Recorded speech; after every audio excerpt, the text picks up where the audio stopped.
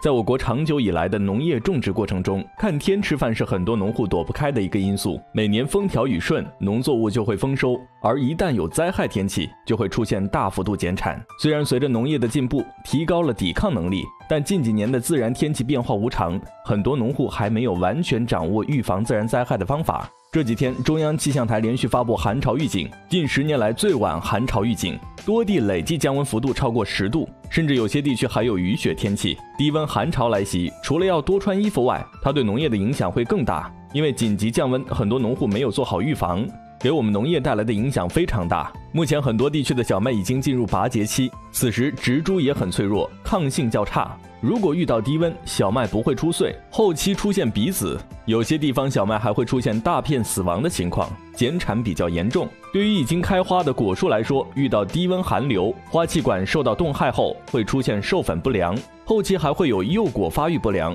结果少的现象，严重的果园有可能会绝收。蔬菜遇上倒春寒，会出现烂根、死苗、落花落果的情况，对产量有很大的影响。而且很多朋友到了清明前后开始陆地种植蔬菜，如果受到低温影响，很可能会不出苗。所以根据往年的情况，不难看出，春季降温和降雨已经成为农作物减产的两大杀手锏。所以要及时关注天气，提前做好预防工作，以避免和减少寒潮的危害。其中，种植小麦的农户要注意，没有浇反清水和施肥的农户要及时追肥浇水，水的比热容较大，可提高土壤温度。另外，在寒流来临之前，可喷洒一次云台素加上磷酸二氢钾，提高小麦的抗性，减少低温危害。如果寒潮发生后，小麦分蘖有冻死的情况，及时追肥和浇水，促进小麦分蘖，提高成穗率，从而保证产量。另外，果树和大棚内的蔬菜在倒春寒来临两到三天，也可以喷洒一次磷酸二氢钾和云台素，调节植株生长。大棚内还可以搭二膜、三膜，